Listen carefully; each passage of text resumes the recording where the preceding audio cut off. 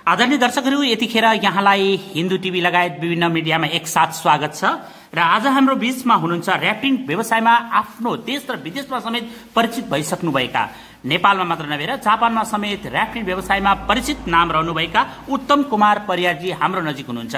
स्वागत छ यहाँलाई।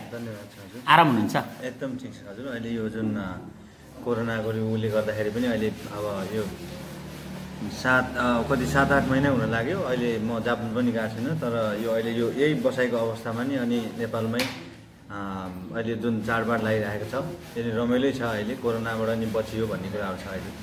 जस्तो यो व्यवसाय नै यतिखेर चौपट भइरहेको छ होइन? यो कोभिड नाइन्टिन कोरोना भाइरस प्रकोपको कारणले जापानमै तपाईँ जान सकिराख्नु भएको छैन। अहिले नेपालमै हुनुहुन्छ। सात महिनादेखि नेपालको सम्पूर्ण व्यवसाय नै तहस नहस भएको छ संसारभर नै होइन? यहाँले आफ्नो व्यवसाय चाहिँ कस्तो भइरहेछ? व्यवसाय भन्नै पर्दाखेरि अब म अहिले खास छुट्टीमा आएको म छ महिना जापान छ महिना नेपाल यहीँ पनि गर्छु। मेरो सानो कम्पनी पनि छ यहाँ। अहिले यो कम्पनी कुरा गर्नु पर्दाखेरि अहिले ठ्याप्पै छ केही पनि छैन। त्यस्तो विधि काम गरेर भनौँ न अलि जीविका चलाउँछु भन्ने खाले अवस्था केही पनि छैन। अलि अप्ठ्यारै छ यो समयमा अहिले। जस्तो यहाँको अब त्यसमा खर्च पनि होला स्टाफ होला होइन? कसरी चाहिँ तय गरिरहनु भएको छ? अब खर्चहरू पनि छ अब ट्याक्स बुझाउनु कुराहरू ट्याक्स पनि बुझाउनै पऱ्यो कम्पनी अब देशको जुन सिस्टम छ त्यो अनुसार चलाउनै पऱ्यो र अब दाजुभाइहरू जो हुनुहुन्छ उहाँहरूलाई अब हामीले जति सक्दो आ, राहतहरू सहयोग गर्ने कुराहरू आ, राहतहरू हाम्रो गाइड दाजुभाइहरूलाई नि अब हामीले त्यो अनुसारले गरिरहेछौँ र अर्को कुरा अब तलब दिने भन्ने कुराहरू पनि त्यो त्यो पनि छैन। र उहाँहरूलाई अब के हुन्छ अरू वैकल्पिक कुराहरू जस्तै कृषि सम्बन्धी अब के छ उहाँहरूले जानेको कुराहरू त्यो सम्बन्धीमा उनीहरू आबद्ध अहिले लागिरहनु भएको छ। जस्तो ऱ्याफ्टिङमा चाहिँ कतिजना जति मानिसहरू हुनुहुन्छ के छ? क्राफ्टिङ व्यवसाय भन्नुपर्दाखेरि तपाईँलाई अब पहिलाको आकलन गर्दाखेरि सय डेढ सयवटा कम्पनी थियो। अहिले कतिवटा छ अहिले यो जुन अहिले डामाडोल यो भूकम्पपछि पनि धेरै कम्पनीहरू कोल्याप्स भएको अवस्था नि छ। र अहिले कम्पनी भन्नुपर्दाखेरि त्यस्तै अहिले धेरै मेन चल्ने कम्पनीहरू पचास साठीवटा होला। साठीवटा भनेपछि हजारौँ हुनुहुन्छ। छ धेरै नै छ। गाइड। पनि टन्नै छ हजुर। त्यो राफ्टिङको फेमस ठाउँ हो हाम्रो देश। र अलिकति यो अब यही महामारी कहिले यो सङ्क्रमण काल कहिले के काल भनेर यसले अलि अप्ठ्यारो पारिरहेको छ। भनेपछि मुलुकलाई एउटा दिशा दिने यो व्यवसायलाई पनि कोभिडले छोडेन। छोडेन। यो धेरै नै अप्ठ्यारो परेको छ। कोभिडले अब भन्नुपर्दाखेरि मान्छे मान्छेमै भेट हुनु नहुने छुन नहुने भन्ने कुराहरू गरेर अब हामी त झन् बोटमा एउटै मान्छे एउटै बोटमा आठजना बस्नुपर्ने हुन्छ। त्यही हुँदाखेरि पनि अब भनौँ यस्तो सामाजिक जमघटहरू भन्ने कुराहरू नै अहिले रोकिएको छ। जस्तो यहाँ त जापानमा पनि गर्नुहुन्छ होइन? अनि जापान र नेपालमा अन्तर चाहिँ के रहेछ? जापान र नेपालमा अन्तर धेरै फरक छ हेर्नुहोस्। अब देश हाम्रो राम्रो छ हेर्नुहोस्। हाम्रो यहाँ पानीको अब भौगोलिक हिसाबमा यहाँ जुन एडभेन्चर लाइनमा चाहिँ हाम्रो यहाँ धेरै राम्रो छ। एडभेन्चर सम्बन्धी हाम्रो राम्रो छ। तर यहाँ सिस्टममा अलिक फरक छ। सिस्टममा चाहिँ जस्तै अलिकति के नपुगेको जस्तो अब भनौँ न सिस्टम अब कुनै पनि चिजहरू प्राइसदेखि लिएर अब जस्तै एडभर्टाइज गर्ने कुराहरू पनि एडभर्टाइज पनि भइरहेछ तर त्यो कुरामा सरकारी पक्षबाट खेल्ने कुराहरू जस्तै हाम्रो वाटर स्पोर्ट यो विश्वमा अहिले हाम्रो यो दोस्रो तेस्रोमा पर्छ यो राफ्टिङ पेसा भनेको। तर यसलाई नै कसरी हाम्रो देशको सान बनाउने भन्ने कुराहरूमा यो कुराहरूमा चाहिँ हामी अलि अलिक पछाडि परेको छ कि भन्ने अवस्थाहरू छ अनि जस्तै जापानमा भन्नुहुन्छ भने जस्तै उहाँ राफ्टिङ हुन्छ। राफ्टिङ पनि एउटा सिस्टम हुन्छ। हरेक कम्पनीको एउटा प्राइजहरू त्यो हुन्छ। र प्लस खोला पनि उनीहरूले चाहिँ चलाउने तरिका हुन्छ। खोला पनि कसरी चलाउने? अब जहाँ पाए त्यहीँ ड्याम बनाइदिने कि? होइन फोहोर फालिदिने कि? हो यस्तो खाले कुराहरूले गरेर पनि उहाँ त्यो जुन देशमा चाहिँ राफ्टिङ गर्ने जापानमा चाहिँ अहिले तपाईँको के हो भने ड्याम बनाउनु पऱ्यो भने उनीहरूले अलिकति माथि बनाउने हो कि टुप्पामा बनाउने हो कि अलिक छेउमा बनाउने हो कि त्यो हिसाबले पनि उनीहरूले त्यो पेसालाई पनि अब अलिकति उमा राखेर ठाउँमा राखेर त्यो अनुसारले मारामार उनीहरू आफ्नै जापानिज चाहिँ टुरिस्टहरू पनि आउने गर्छ। उहाँ एकदम राम्रो छ। भनेपछि वातावरणसँग खेलेर अनि बल्ल प्रकृतिले दिएसँग उपहार लिने हो होइन। तर हामी कहाँ चाहिँ वातावरण पनि सिद्धाउने। अनि प्रकृति पनि मास्ने होइन। अनि त्यसपछि ऱ्याफ्टिङ व्यवसाय भन्ने यो चाहिँ कति जिम्मेवार नभएको जस्तो लाग्यो हो यो छन् अब धेरै नै अजिम्मेवार कुरा हो किनभने अहिले तपाईँले हेर्नुहोस् अब यो कुरामा कुरा आयो यहाँ अहिले यो नजिकै मुगलिङ त यता नजिक हेर्नुहोस् यहाँबाट गएर गम गम फोहोरहरू फालेको छ अहिले त्यो ठाउँमा। फोहोरहरू फालेको छ। अनि भनेपछि त्यसले हामीलाई कति इफेक्ट पार्छ? र त्यो अहिले जुन बागमती खोला जुन हाम्रो अहिले नेपालमा बागमती खोला जुन पहिला अहिले पहिला नाइन्टी नाइन्टिन नाइन्टी एटी कतितिर त्यो पहिला त्यो जुन पहिला फरेनर्सहरू आएर राफ्टिङ गर्थ्यो त्यतिखेर त्यो खोलाहरू क्लिन थियो। तर अहिले पछि आएर हेर्नुहोस् बागमती अहिले पुरै त्यो लेदो निकाल्नु पर्ने खाले भयो। यहाँ पनि त्यस्तै खाले समस्याहरू भइरहेको छ र हाम्रोमा के भयो भने जस्तै हामीले पनि केही कुरा साहसिक कुराहरू जस्तै एडभेन्चर कुराहरू गर्नुपर्छ भन्ने खाले हाम्रो सरकारी उबाट पनि अब स्कुलिङ उबाट पनि हाम्रो त्यस्तो खाले ज्ञानहरू बाँडेको जस्तो लागेको छैन। र क्लिन गर्नुभन्दा पनि फोहोर गर्नुपर्छ भन्ने खाले मानसिक बढी भएर चाहिँ हामी अलिक पछाडि परेको हो कि जस्तो जस्तो राज्यलाई ट्याक्स चाहिँ बुझाउनु भयो होइन। तर राज्यले तपाईँहरूलाई दिनुपर्ने दायित्व बोध गरेन। छैन ल अब हजुरले भन्नुभयो अब अहिले यो महामारी काममा पनि अब राफ्टिङ गाइड त अब टुरिस्टहरू आयो भने हुने हो। हजुर टुरिस्टहरू आयो भने हुने हो नत्र केही पनि छैन। मैले सुनेको अस्ति नै ट्रेकिङ गाइडहरूलाई चाहिँ तपाईँको अलिअलि केही रातहरू दियो अरे भन्ने कुरा उनीहरूको त ट्रेकिङको संस्था अलिक बलियो छ।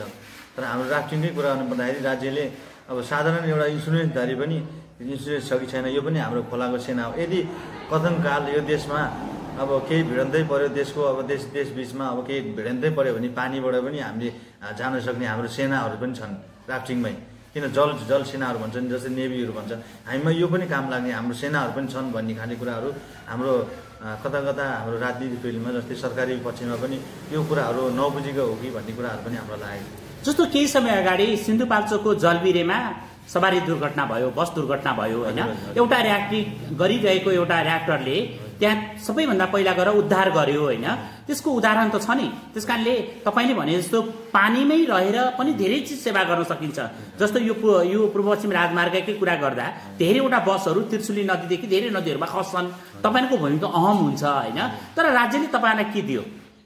राज्यले अब भन्दै गर्नु पर्दाखेरि अब जुन यो मैले जब मैले राफ्टिङ फिल्डमा लागेँ म बाह्र वर्षको उमेरदेखि राफ्टिङमा लागेको हो। म पढ्दा पढ्दै छोडेर म राफ्टिङमा लागेको मान्छे हो पढ्ने प्लस काम पनि गर्ने। अनि यो क्षेत्रमा मैले धेरै केसहरू देखेँ र प्लस गाडी पल्टेर अब काहीँ पनि त्यस्तो यस्तो ठाउँ थियो कि हेर्नुहोस् त्यतिखेर यहाँ सशस्त्रहरू पनि थिएन। यहाँ कुनै यो के भन्छ त्यो के भन्छ त्यो डुब्ने गोताखोर गोताखोर।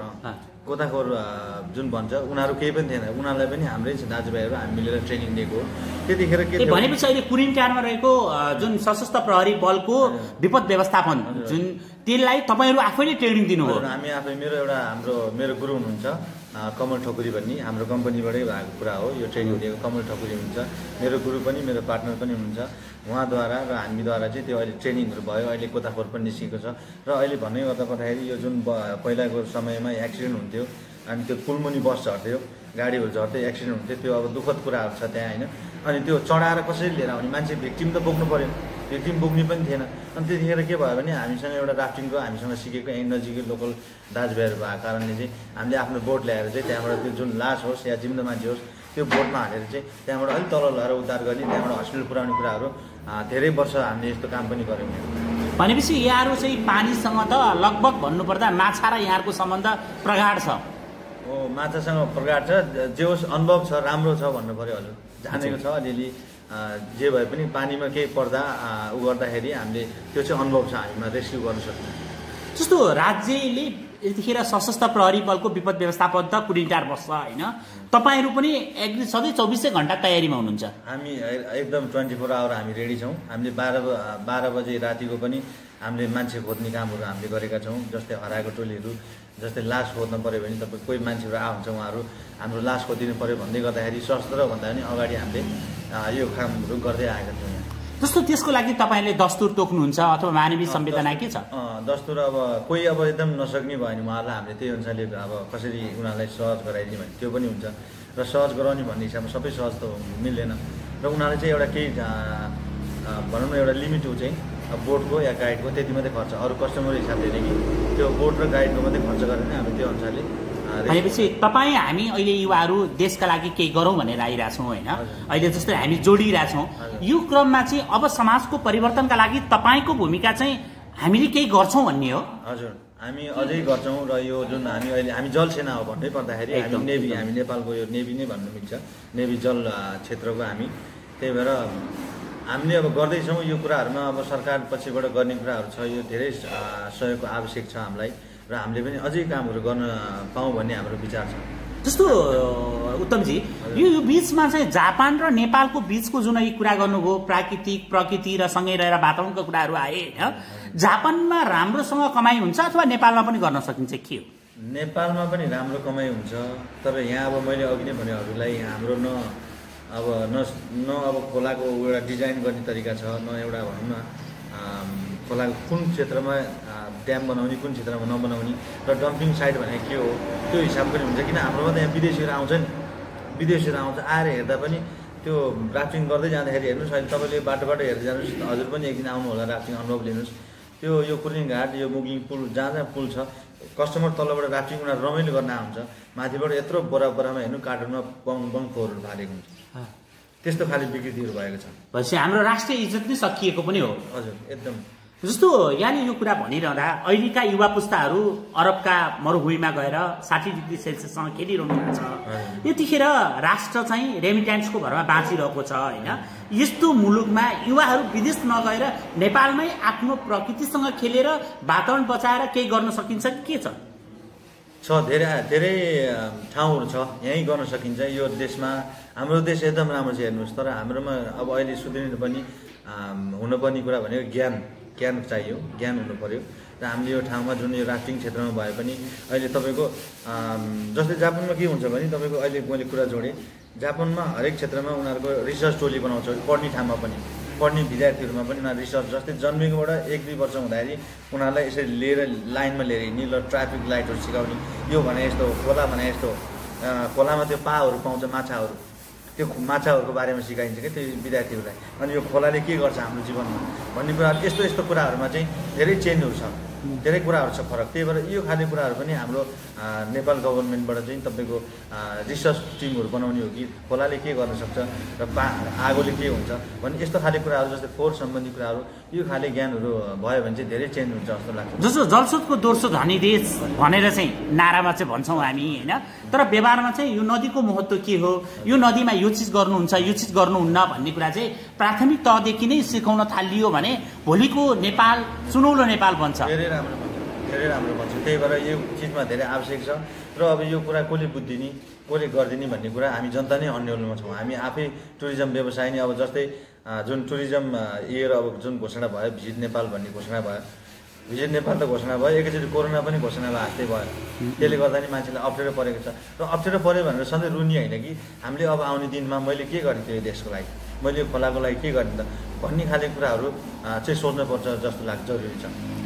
जस्तो अब हामीले यी बिचमा कुरा गरिरहँदा यतिखेर समाज परिवर्तनको लागि समाजमा केही गर्नुपर्छ युवाहरूको पनि भूमिका छ भन्ने यहाँको जोड रह्यो होइन। अब युवाहरूले चाहिँ ऱ्यापिङ व्यवसाय जुन कुरा आइरहेको छ युवाहरू यदि तपाईँसँग तालिम गर्न आए भने तपाईँ दिनुहुन्छ? हजुर हामी तयार छौँ। जो कोही हुनुहुन्छ तपाईँहरूलाई यदि राफ्टिङको गाइड बन्नुहुन्छ तपाईँ या यदि राफ्टिङको बारेमा खोलाको बारेमा सिक्ने इच्छा छ भने कोही इच्छुक हुनुहुन्छ भने जस्तै काइकिङ हुन्छ हाम्रो काइकिङ सम्बन्धी हामीले ट्रेनिङ गराउँछ काइकिङ सिक्न मन लाग्यो भने आउनुहोस् एक हप्ताको कोर्स हुन्छ हाम्रो। अब सिक्ने मान्छे एक दुई घन्टा पनि सिकिन्छ होइन? र अरू कुरा हामीमा चाहिँ के हुन्छ भने एउटा मानव भएपछि हामीले कसरी हामीले टिम बिल्डिङ सिकाउँछ हामी। उसलाई टिम बिल्डिङ हस्पिटालिटीहरू हुन्छ। हामीले चाहिँ कसरी मान्छेलाई चाहिँ मानवताको एउटा हुन्छ नि जुन मान्छेलाई अतिथि सत्कार गर्ने खाने कुराहरू योमा चाहिँ धेरै कुराहरू हुन्छ। जस्तै आन्तरिक बाह्य पर्यटकहरू त्योसँग घुलमेल हुने जस्तै जीवनको एउटा उनै अँ, शैली नै हुन्छ त्यसमा चाहिँ। निश्चय नै दर्शक यतिखेर उहाँले भने जस्तै यहाँहरू पनि कोही सिक्न इच्छुक हुनुहुन्छ भने तपाईँहरू हामीसँग सम्पर्क राख्नुभयो भने हामी ऱ्यापिङ सिकाउनको लागि तपाईँलाई त्यो ठाउँसम्म पुर्याउने प्रतिबद्धता जाहेर गर्छौँ। उत्तमजी अब अन्त्यमा केही छ यहाँको भन्नु? मेरो अन्तिममा भन्नुपर्दाखेरि त मैले अब नेपाल सरकारलाई नै हो हामीले भन्ने हाम्रो अभिभावकै नेपाल सरकार हुन्छ। त्यही भएर अहिले जुन हाम्रो यो क्षेत्र छ राफ्टिङ ट्रेकिङहरू भयो अहिले यो यो सम्बन्धी यो टुरिज्म लाइनमा चाहिँ अलिकति फोकस दिएर कसरी हुन्छ बजेट हालेर हुन्छ कि कसरी हुन्छ? र शिक्षा सम्बन्धी पनि जस्तै राफ्टिङमा नि अब स्कुल ग्रुपहरू आउँछ। उहाँ जापानमा हेर्नुहोस् तपाईँको पाँच सय एक हजारजना ग्रुपहरू आउँछ कि त्यो स्कुल विद्यार्थीहरू। उनीहरूलाई त्यही सम्बन्धी ट्रेनिङ दिन्छ। त्यो त्यो अनुसारले उनीहरूलाई अनुभव गराइन्छ कि। त्यो खाले हाम्रो अलिक लगानी कम भयो कि। होइन कुरा चाहिँ धेरै भयो। लगानी चाहिँ कम भयो हाम्रो देशमा। त्यही अनुसारले यो राफ्टिङको लागि जस्तै टुरिज्म क्षेत्रको लागि चाहिँ एउटा क्लिन चाहिँ बनाउनु पर्छ पहिला सरसफाइ हुनु पऱ्यो जस्तै मैले भने फोहोरहरू फाल्ने कुराहरू यिनीहरूबाट चेन्ज गराएर र हरेक मैले बुझेको चाहिँ हरेक घरमा चाहिँ अब यो यो जुन क्लिनिङमा उमा आउँछ हाइजिनहरूमा अँ, ज- हरेक घरमा चाहिँ तिनदेखि चारवटा बकेटहरू राख्ने। बकेट राख्ने र तपाईँको गाउँपालिका सरकार स्थानीय सरकार जो जो हुनुहुन्छ उहाँहरूलाई चाहिँ त्यो बकेटको सिस्टम या उहाँले जानेन भने बरु हामीबाट सिक्ने कुराहरू हुन्छ। हामी पनि त्यो हामी उहाँलाई साय साथ हामी सहयोग गर्छौँ। नजाने कुराहरू हो यो कुराहरू सिक्नु पनि पर्ने खाले कुराहरू छ। त्यही भएर यो चाहिँ तत्कालै यो हाम्रो नेपाल सरकार गाउँपालिकाले बुझिने कुराहरू यस्तो यो कुन जुनै पनि हाइजिन कुराहरू छ फोहोर व्यवस्थापन कुराहरू यो चाहिँ छिटो तत्कालै गरिदियोस्। र राफ्टिङको गाइडहरूलाई जुन अहिले हिँड्नु भएको छ राफ्टिङ गाइडलाई उहाँलाई दुःख परेको छ उहाँले न माग्न सक्छ हेर्नुहोस् न के गर्न सक्छ। अहिले उनीहरू एकदम गाह्रो परेको छ। राफ्टिङ गाइड भनेको छ अब जस्तो मेरै कुरा गरौँ जापान गएर आएको छ तिमीसँग टन्न छ भन्ने खाले मान्छेले उडाइदिने कुराहरू गर्छन् कि। टन्न छ कि छैन त्यो त मेरो व्यथा कसलाई के थाहा भन्ने कुरा हुन्छ। त्यही भएर त्यो टन्न छ भन्दा पनि मैले के गर्ने? हाम्रो यो जुन अहिले राफ्टिङ जलस्रोत क्षेत्रलाई भन्ने कुराहरू चाहिँ यति बारेमा चाहिँ सरकारले मुख्य ध्यान दियो भने हाम्रो राफ्टिङको ट्रेकिङ जुन पनि सम्बन्धी एडभेन्चर छ क्यानोनिङ पनि छ अब हाम्रो हेर्नुहोस् है। हाम्रो हेर्नुहोस् यहाँ पैसै पैसा छ। गर्ने हो भने पैसै पैसा छ। यो कुराहरूमा चाहिँ सरकारले मेन बुझियोस् भन्ने मेरो चाहना हो मेरो अनुरोध पनि छ यहाँ। निश्चय नै दर्शक त्यतिखेर उहाँले भने जस्तै उत्तमजीकै भनाइमा मात्र नभएर नेपालको भौगोलिक अवस्था नेपालको चित्रण गर्दा नदी नदी नालाहरूले भरिएको यो मुलुक साँच्चै नै प्रकृतिको स्वर्ग। अनि यहाँ नदी नालाहरूमा लाखौँ लाख रुपियाँ जहाँ झुन्डिरहेको छ टिप्न गाह्रो छैन भन्ने उहाँको अभिव्यक्ति रह्यो। निश्चय नै यसलाई राज्य पक्षले पनि महत्त्वपूर्ण भूमिका निर्वाह गर्नुपर्छ।